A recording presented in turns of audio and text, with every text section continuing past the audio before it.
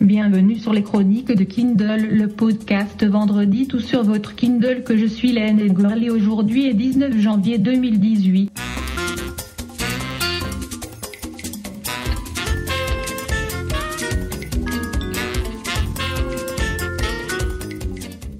Thank Alexa for that introduction in French. In case you didn't catch it, I'm Len Edgerly, and this is the Kindle Chronicles for January 19th, 2018. I'll be talking a little later in the tech tip about how you can use Alexa to translate. This week, I connected with the person who ended up being the last editor of Amazon's innovative digital literary journal, Day One.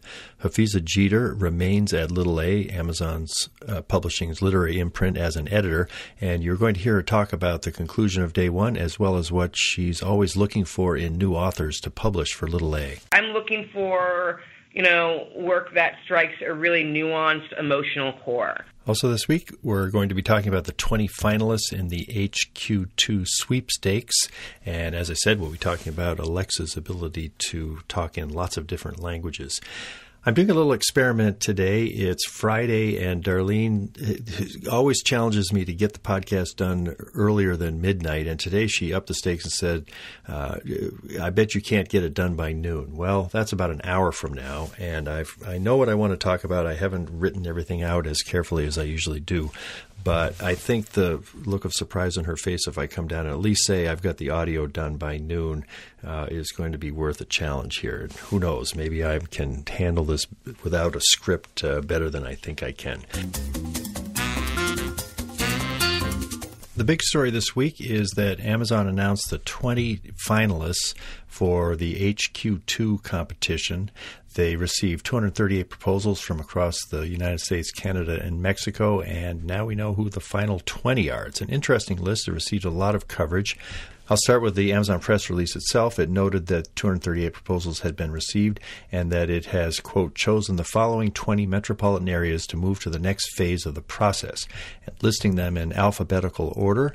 That's Atlanta, Austin, Boston, Chicago, Columbus, Ohio, Dallas, Denver, Indianapolis, Los Angeles, Miami, Montgomery County, Maryland, Nashville, Tennessee, Newark, New Jersey, New York City, Northern Virginia, Philadelphia, Pittsburgh, Raleigh, Toronto, and Washington, D.C.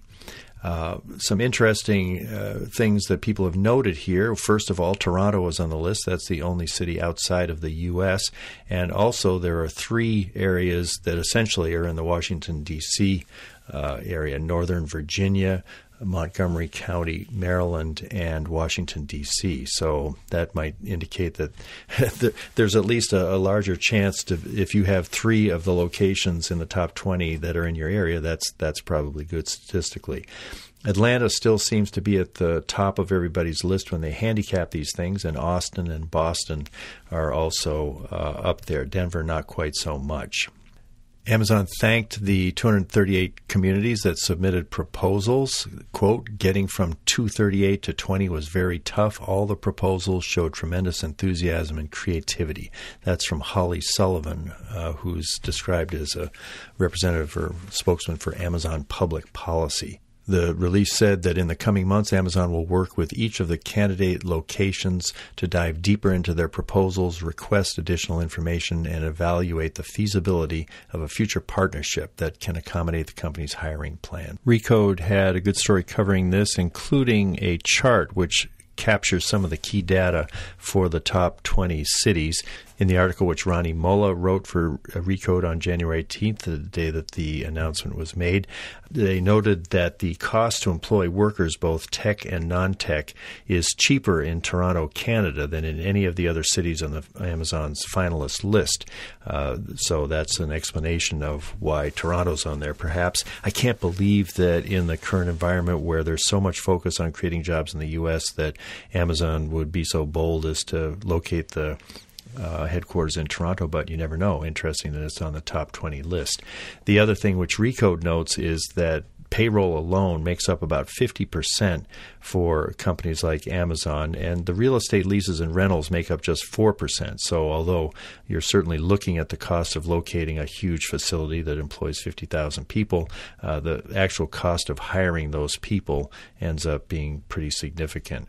Their uh, ranking list does show Atlanta uh, as number one, and then Austin and Boston. Uh, they have tech talent rank. Uh, Atlanta's five, Austin's eight, Boston's nine.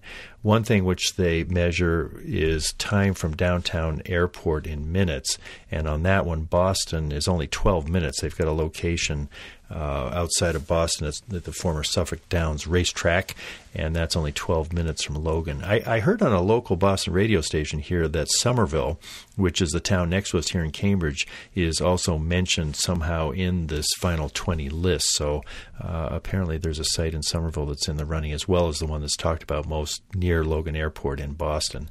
Denver, by comparison, gets dinged, I'm sure, because it's a 36 minute ride from Denver International Airport, which is a fantastic new airport, but it's quite a ways outside the city, especially compared with the old airport Stapleton, which was that probably would have been five minutes from downtown, but it just couldn't handle the growth that Denver was seeing. Nick Wingfield, who does an excellent job covering Amazon for the New York Times these days, started his coverage of the top 20 announcement comparing the cities to college applicants waiting for a message that they got accepted.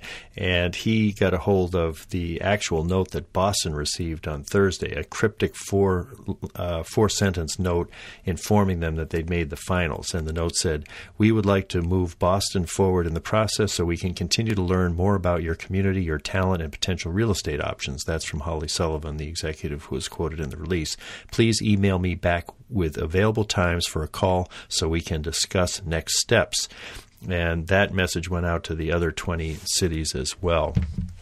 Newark is interesting because it, it is a more distressed economy, although there's been lots of growth and Audible, an Amazon subsidiary, has been a big part of the uh, renaissance or reemergence of Newark.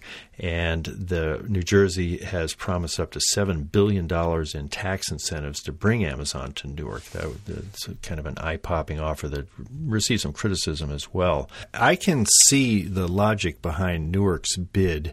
Uh, partly because when I spoke with Donald Katz a little over three years ago, the founder and CEO of Audible, his passion for Newark and for keeping Audible located there and growing there as kind of a, a corporate uh, responsibility mission and it matches some of the uh, profile of Amazon in Seattle, although Amazon's growth in Seattle has caused some problems. There, has been a real commitment on Bezos' part and the other top team for uh, locating the company in the city, which has uh, advantages for the economy there and also for employees who can walk to work and that sort of thing.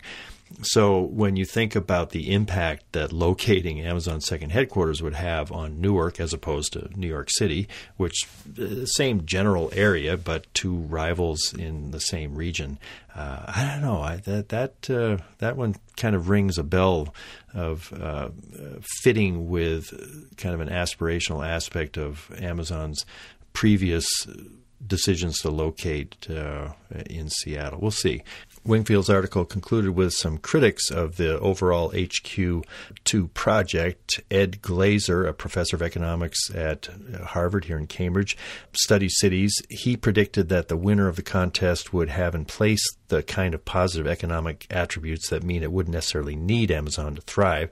And then his quote was at its best, the competition for Amazon has spurred cities to think about how to improve their quality of life more generally.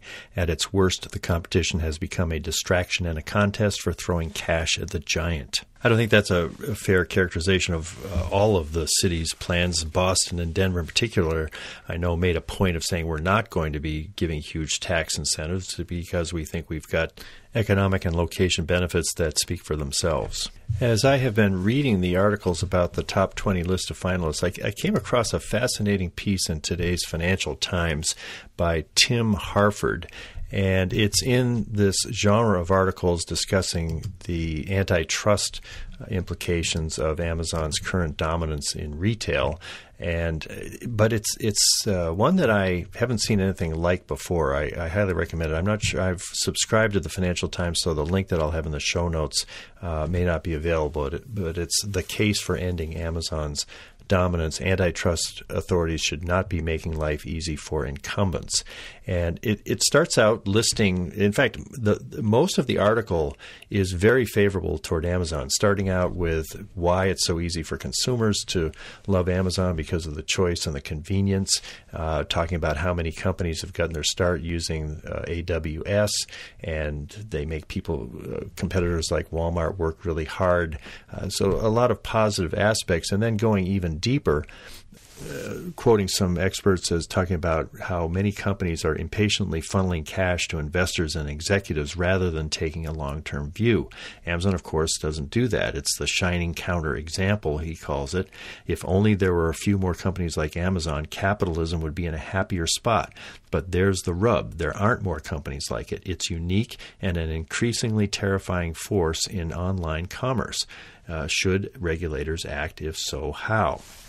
He then proceeds to take issue with uh, a piece that I've talked about, I think, in the past. It was uh, written by uh, someone at uh, Yale Law School, Lina Khan, Amazon's antitrust paradox.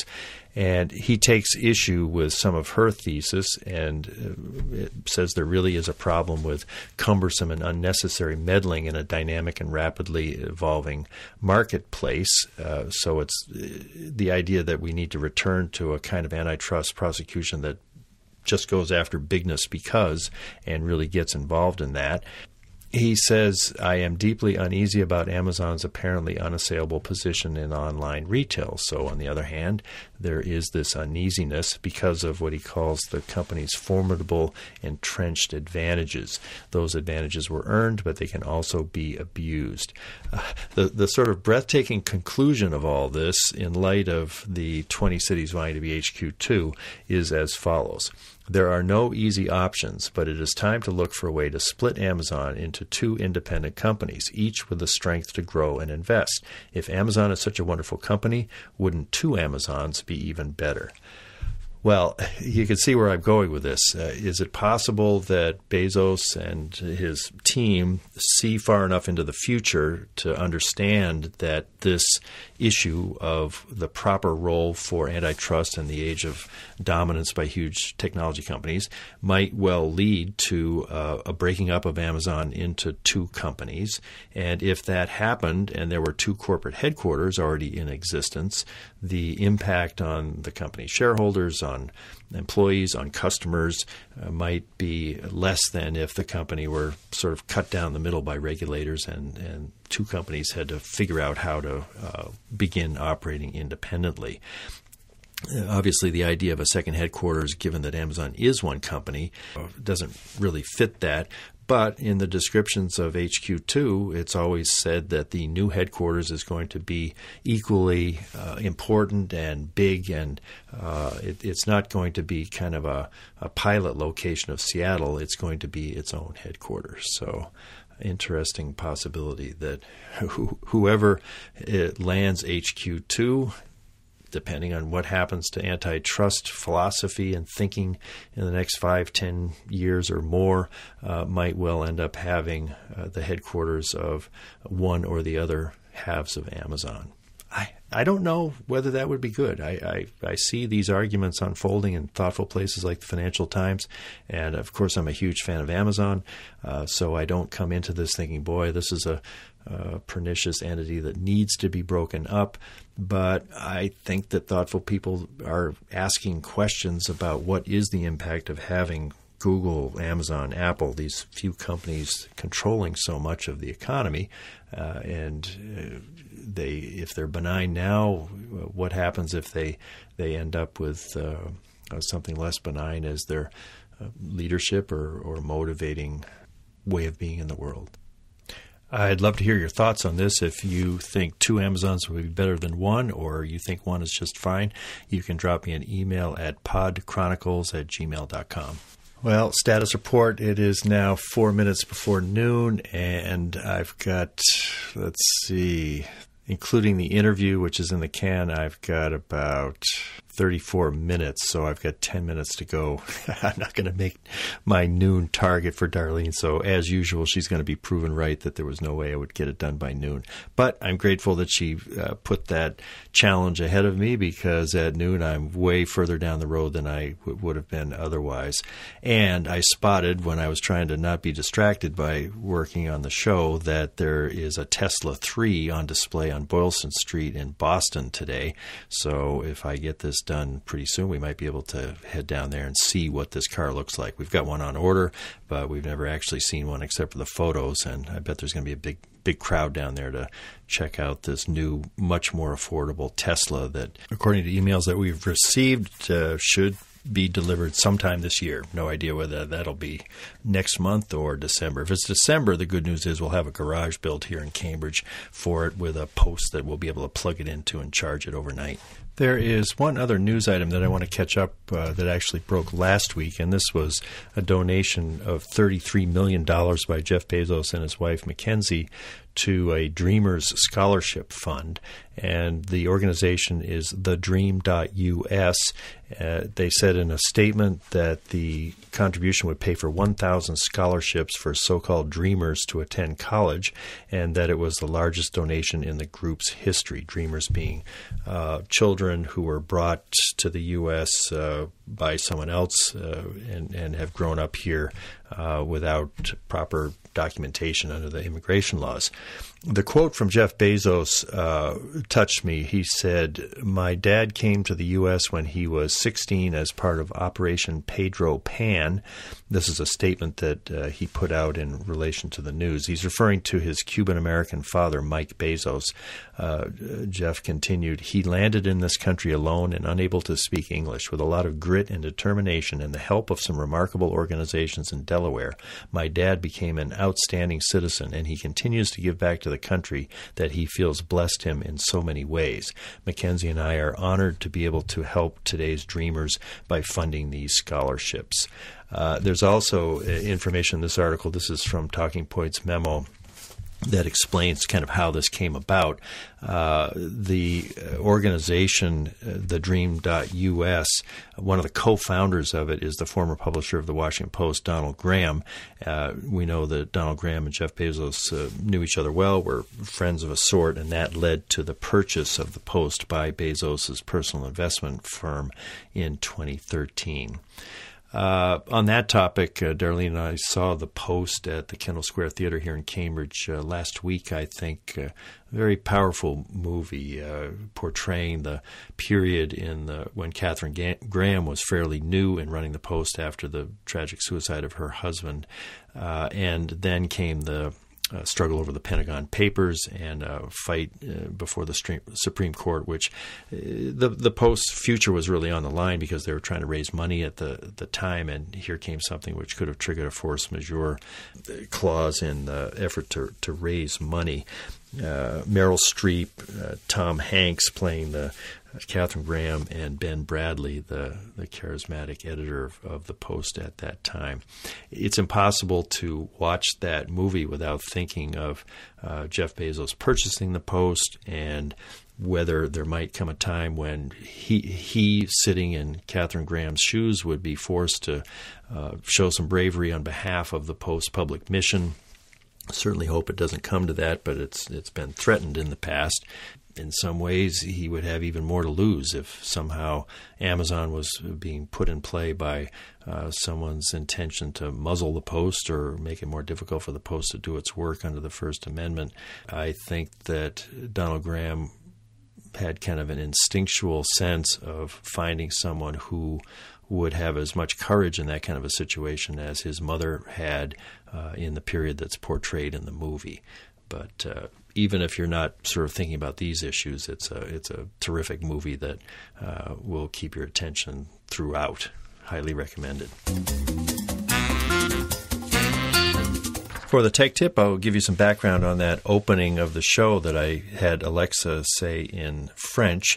Uh, it turns out that there's a built in translation capability to Alexa in other words, uh, for Spanish, German, French, Japanese, and Italian, you can simply say, Alexa, translate, and then a phrase into, and then a language. Alexa, translate I am getting pretty close to finishing the show into Japanese.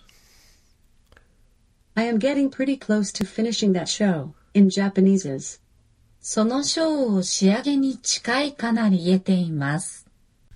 Alexa, translate I hope I am finished recording by the time my wife returns into Spanish.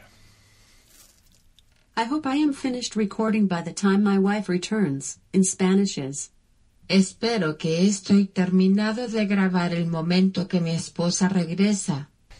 So if you're recording a short phrase in any one of those five languages, you just give the command as I've demonstrated. There's a way to open it up to many more languages if you use a, an Alexa skill named Translated. I think there's others, but that's the one that I found that seems to work pretty well. Uh, to your Alexa device, you would just say, Alexa, enable the translated skill. Uh, at that point, you can translate into Arabic, Italian, Czech, Welsh, Danish, Swiss German, uh, Norwegian, Russian. Uh, uh, it's just a, a, whole bunch of languages here. And this is how that sounds to use the skill, which I've already downloaded to my device. Alexa, open the translated skill. Welcome to Translated Skill. What would you like to translate? My wife is doing errands. I hope she returns home soon into Welsh. My wife is doing errands. I hope she returns home soon in Welsh's. Mae fy ngwraig yn wneud negeseuon gobeithio mae hi'n dychwelyd adre fan fian. You can say repeat, slow down or just ask for another translation. What would you like to do? Another translation. Oh yeah, I'm listening. Anything else? Translate I am getting hungry, but I don't know what is for supper into Russian. I am getting hungry. What is for supper in Russian is. Я получаю голодный для ужина. So you can Do see. you want to translate anything else? No. Hear you soon. Bye now. What you have there when you're using the skill is it's a bit like a chatbot, or you're getting into a more conversational interface, which, uh, I, as you could hear, you can slow down the statement in the foreign language, you can repeat, and it's sort of a back and forth compared with the basic ability to translate that you have in Alexa with those original five languages.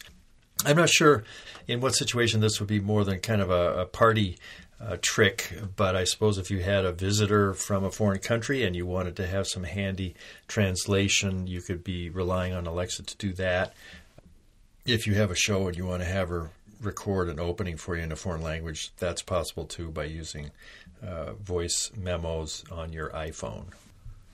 Alexa, translate time now for the interview into Italian. Time now for the interview in Italian is Tempo ora per l'intervista. Hafizah Geter received her BA in English and Economics from Clemson University and her MFA in Poetry from Columbia College, Chicago. She is an editor at Little A, the literary imprint of Amazon Publishing, and until December 27th of last year, she was also the editor of Day One, the weekly digital literary magazine that Amazon launched in October of 2013.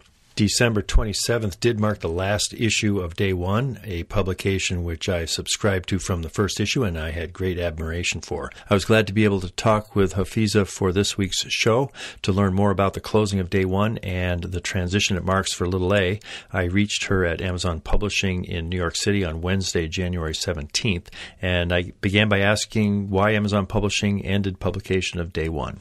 It's been our privilege to be able to send readers a weekly literary treat that included poems, stories, and what I just have to call remarkable illustrations every Wednesday for four years.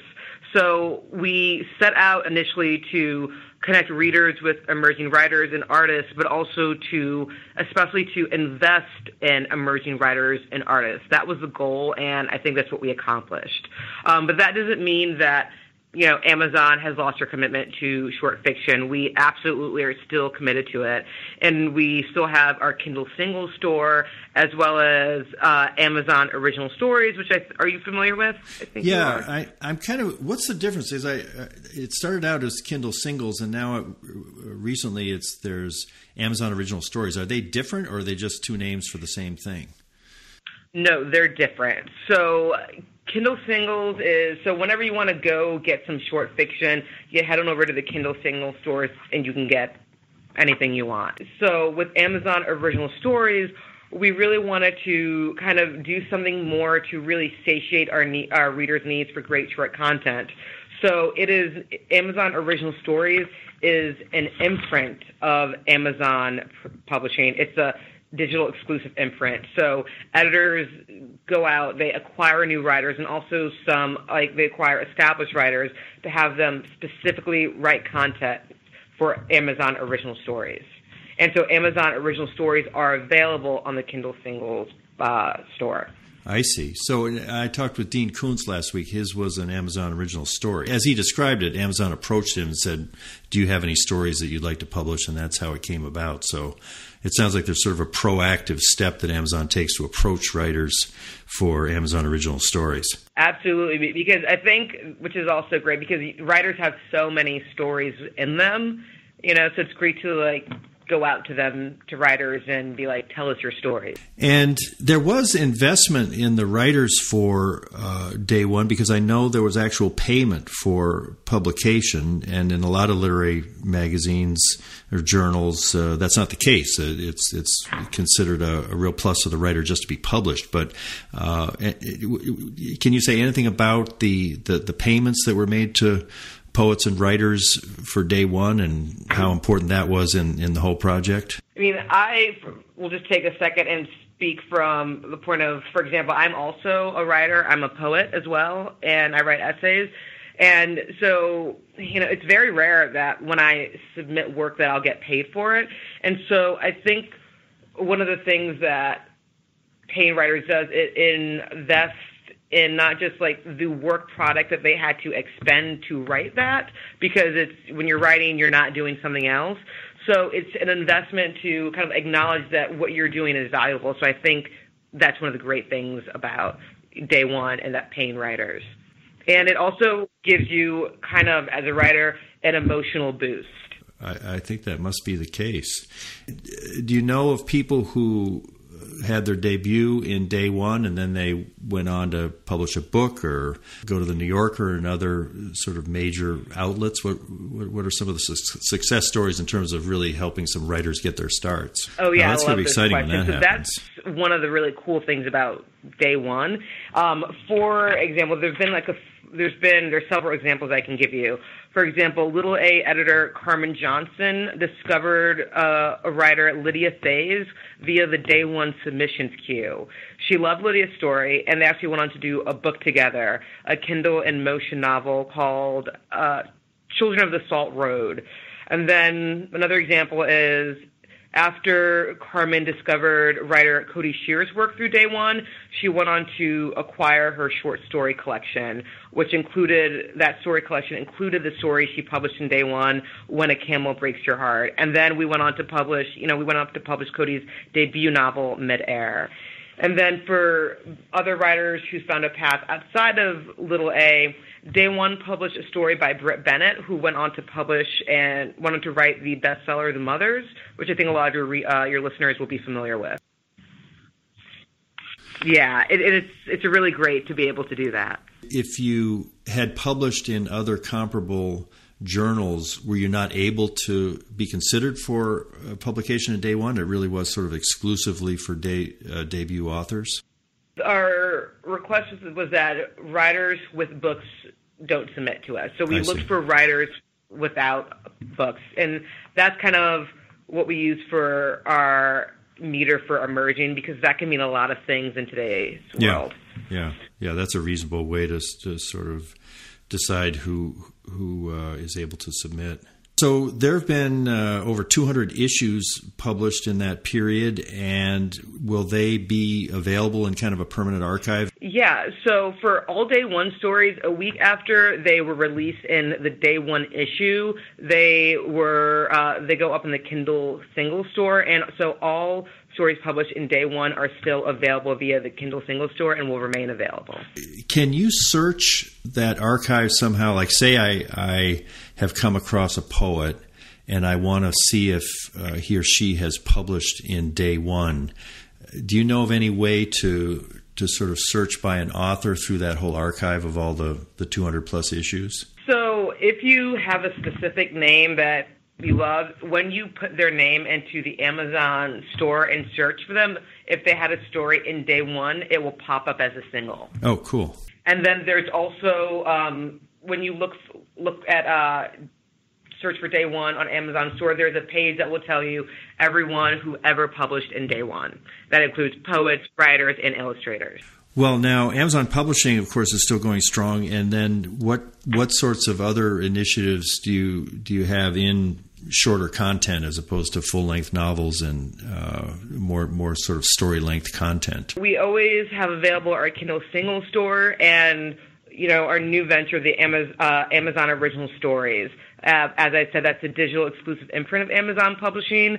Um, so that gives our readers their short fiction and their non their nonfiction that can be read in a single sitting. So I think the Amazon Original Stories demonstrates that as a publisher, we're always looking for new ways to innovate on behalf of on behalf of our authors and to connect readers and authors with you know together.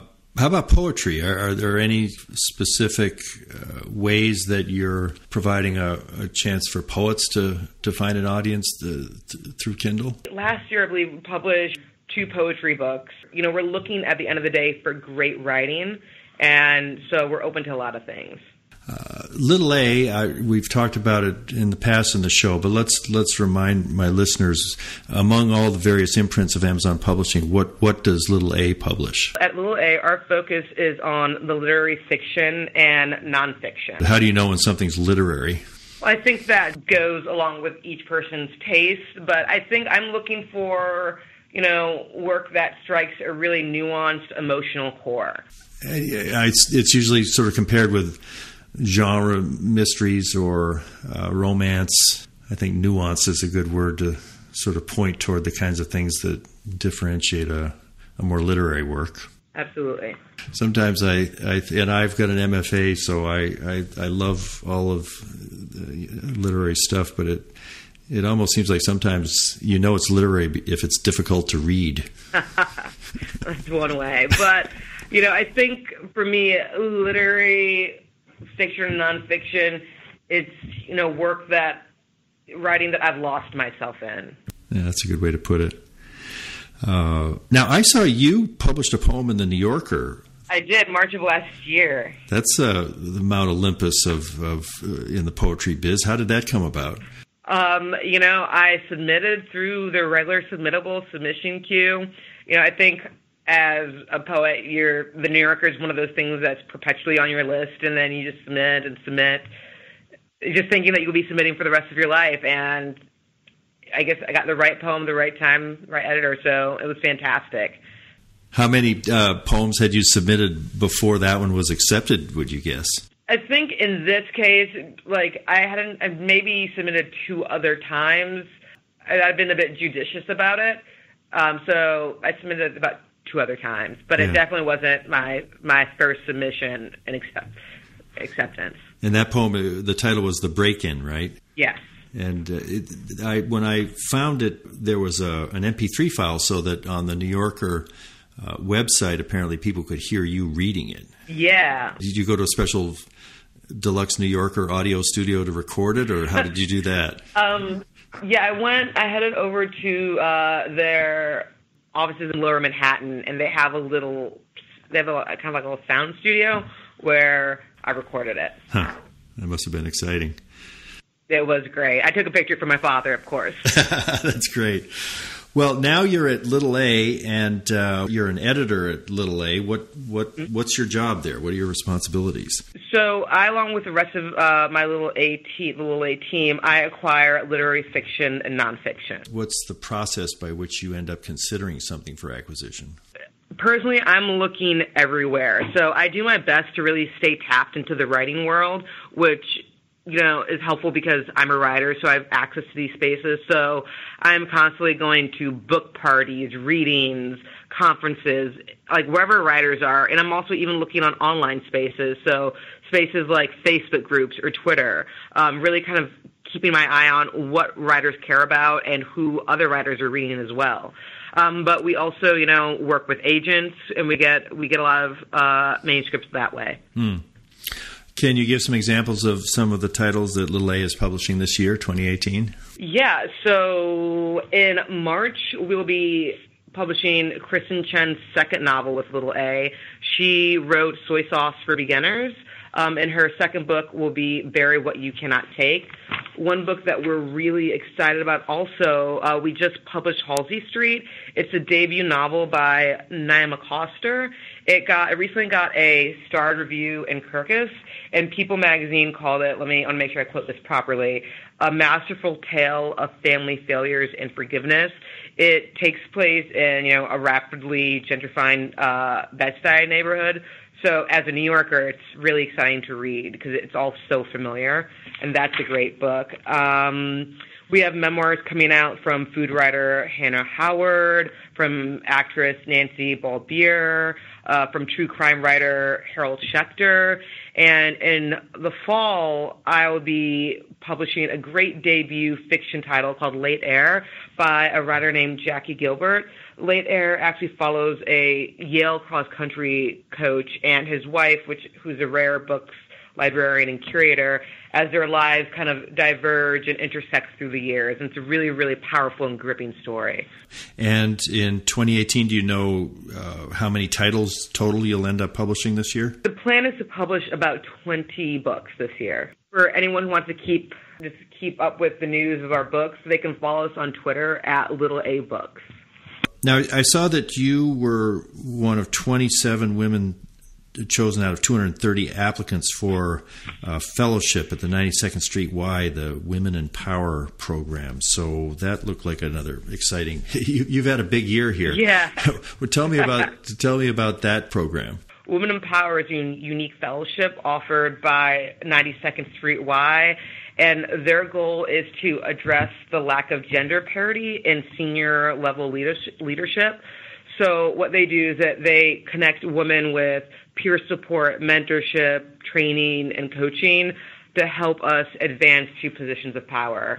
So it's especially a great uh, program to be a part of because I think it aligns well with Little A because Little A one of their tenants is kind of like paying attention to inclusivity, and so it goes really well with this program. How much time will you spend uh, participating in, in, the Women in Power activities? We do. We have workshops about I think once a month, and they have supplemental things that we can attend if we'd like. But we have we have I think dedicated mentors that we'll be working with. It kicks off at the end of the month, so I'll be able to tell you more then. I imagine you had to write a, an extremely well written uh, application describing what you hope to accomplish through the, the fellowship. Do, do, you remember what you submitted and what your aspiration was that you would be able to do because of being accepted by it? My main impetus to apply to this program was that not everyone is in a position where they grow up or come through their career having a mentor. And then it's especially more precarious when you want to strive to reach a level where you look and no one that looks like you is there. Um, so that was a big thing for me that I want to, just as an African American woman, I want to be able to be in a position where I can reach back and where I can help, you know, young women of color ascend these positions and then have not just get into these positions but look around and see people that look like them when they get there. Right. So you'll be learning things in this program that will enable you to help others. Absolutely. Hmm. Uh, can you tell me a little bit about your personal story? Did did you come here from Nigeria or your parents? What what's your sort of story that, that that's led you to this exciting place? I was born in Nigeria. Um, moved here when I was about three with my family. In terms of how I got into publishing, I mean, I've always always loved books. I was as a, I was a child who read more than they talked, and so were like books really gave me like a language to kind of like address and figure out the world that I was in. And then as I got older, you know.